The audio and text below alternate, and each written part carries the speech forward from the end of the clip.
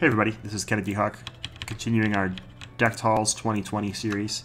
This is our third deck we're playing, and it is Spider-Man Aggression. We talked about this one on the cast a little bit, and it really surprised me. So it, it's still my lowest played Spider-Man deck, and I think it's actually a really great one, so I'm surprised that it's so lowly played. I'm going to get rid of these early swinging web kicks in lieu of setup cards like these other ones, and see what we can do. Alright, so he gets a threat. We... Oh, no, he doesn't get a threat, sorry. He already has two. We get two encounter cards dealt to us. That's what I was trying to say. And let's play some stuff, right? So let's play a web tracer, or whatever this thing is, web spinner, web shooter, I don't know. Let's flip a little bit here and pay one, two for one, two, three for a brawn. I think just 1-2 for a martial prowess, and we'll use that to play a counterattack. Just get a few things out there on the board. Spider-Man's going to hit this goblin for 2. We're not quite going to kill him this turn, but I'm still pretty happy with our setup for that round. Alright, goblin gets that. He is going to attack us. We'll draw a card.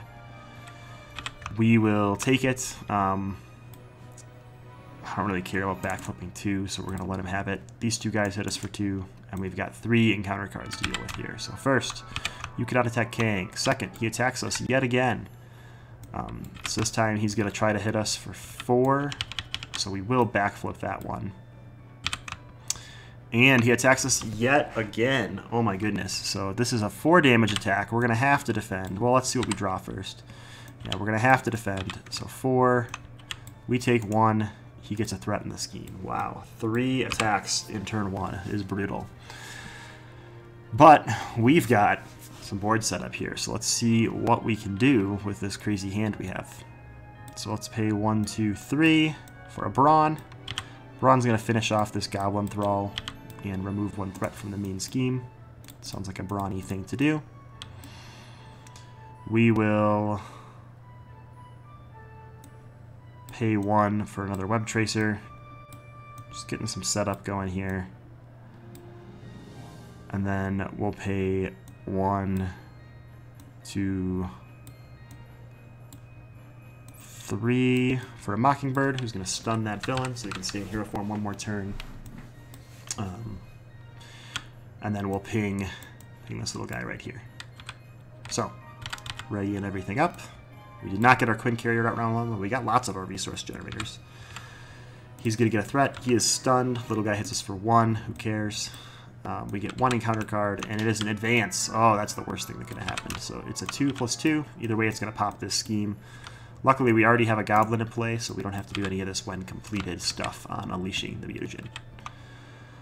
But now we've got to really maintain how many Goblins are out there on the board. That could really come, come to bite us. So let's see what we can do here.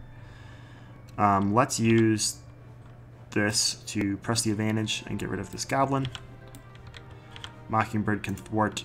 Brawn can attack and remove a thing. Spider-Man can also thwart. We're going to flip down because um, we need to. we're going to play Honorary Avenger on Brawn. I think he's more important right now. Um, and we're going to pitch actually a lot of this stuff, just looking for better cards here. All right. He gets a threat. He's going to scheme for two, three. We get one card here, and it is a Thrall minion. Okay. It is our go.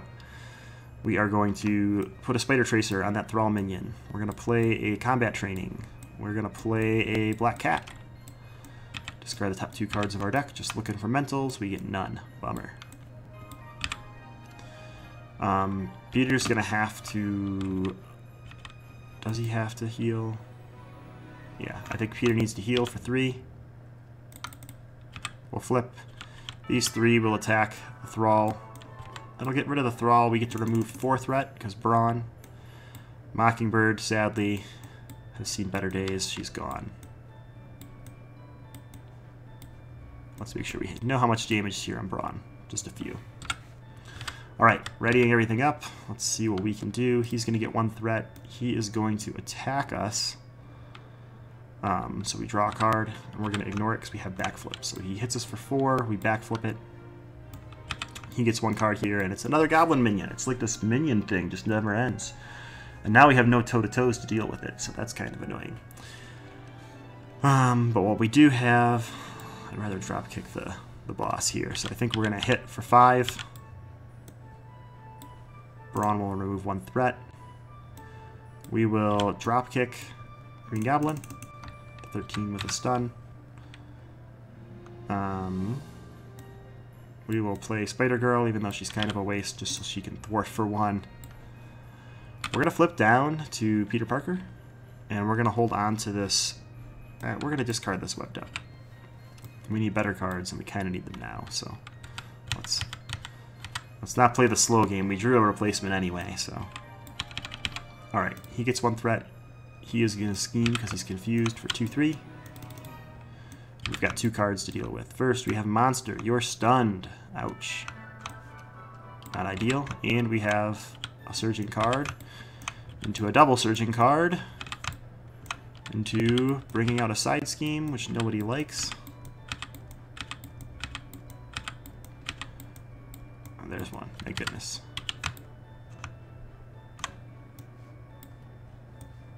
And that goes into a gang up, which surges into another side scheme.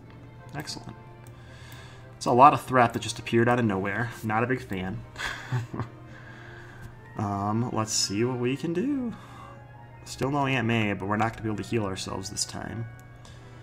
Can't use our, our resource for anything, unfortunately, so we're going to flip. We will put Honorary Avenger up here on Brawn, because that's really important, I think. I am going to pay one, two, three, for a drop kick on monster after I clear my basic attack. Um, so that'll hit for 4, stun, and draw us a card. At that point, we can press the advantage to do the final two and draw us a card. We need to get Aunt May out there. Um, so I'm probably going to... He is already stunned. Um, I'm probably going to use Backflip to play Aunt May for future life purposes. Alright, we can do some attacking here. Um, got lots of damage left. They'll both attack for two. That removes a threat from A scheme. Let's get it off this one. And actually, we'll only attack for one. I think both Black Cat and Spider Girl have to thwart this and get rid of that hazard symbol, unfortunately. Alright, we are readying up. Spider Girl is dead. Black Cat now has one on her. Drawing four cards. He gets a threat. He is stunned, thank goodness, and we get another Goblin Soldier. So, first things first, let's uh, Goblin Soldier will attack us for one, and then we'll die. Um, but let's put a Spider Tracer on him before we do that. That would be smart. Let's us remove three threat, um, and we take one from the when defeated. Cool, cool, cool. That's great. We need to start pushing a little bit of damage here. Um, so we're going to swing for three. Black Cat's going to swing for one. Um, we're going to flip down and heal for four. And I think we'll keep these cards in hand for now. Runs up to six out of seven damage. That's hilarious. Drawn four. He gets a threat. He's going to scheme for two and put this guy to play, so basically three. And we get an encounter card, which is Goblin Knight. Awesome. Just what I always wanted in my life. Um, that's great. Let's pay three for Mockingbird to stun the villain. Aunt May heal us to full. We will flip. We are going to pay one. Two. One. Oh, oh, oh, oh get a Road Chaser. Two, three. For a swinging web kick on this guy. Spider Tracer will let us remove three. Um, I'll just take out the Goblin Thrall. These two are going to go to face. Brawn is going to chill because we want to have as much damage on the board as we can when we flip this guy. So we're drawing five cards. He gets a threat. He is stunned. We get one card here, which is a hazard symbol, so we're going to have to get rid of that and get a minion, but that's probably okay. Minions aren't the end of the world for us right now. So we've got 8 damage after flipping him. We can flip him with what's out here. Um, and a Spider Sense in hand, it might be the time to do a flip. I kind of like to get rid of that first. Um, so let's have Brawn attack and remove a threat here. Poor Brawn. Biting the dust at just the right time here.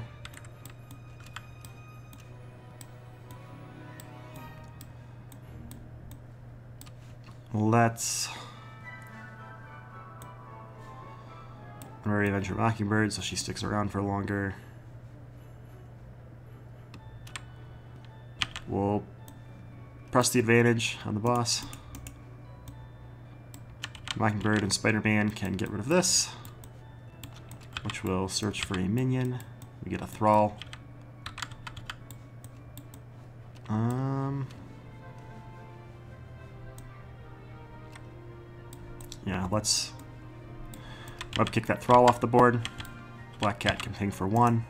We're down to needing only 22 damage in one turn, but we threw away all our good stuff, so that's going to be a problem here. He gets a threat. He is going to attack us, and we draw a card. Um, we will defend, so he attacks for four, unfortunately, so we do take one, and he gets to place a threat. Um, we get one encounter card, which is just more attack buffs for him. Oh, he actually attacks for five, sorry, because of this buff. And we want to reflect that two back at him. That would flip him right now. We kind of don't want to do that.